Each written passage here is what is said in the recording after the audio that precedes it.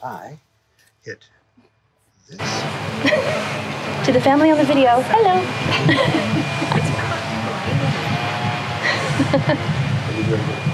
Look at that. Hi, Ray. Well, good afternoon. Uh, we have gathered here today to celebrate the union of Scott Le Duc and Michelle Cleary.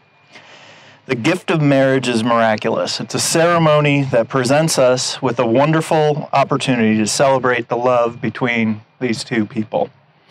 And so, um, the wishes of the, the bride and the groom, this will be short and sweet. But what I'd like to do now at this time invite the bride and groom to share their vows and I invite them to hold hands. And Michelle, you can go first. I feel like I can talk. Um. I just want to cry. Well, we're finally married. Every day I wake up,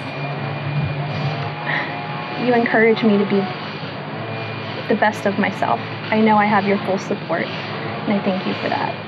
I vow to always support you, love you, encourage you, laugh every single day, every moment, as much as possible.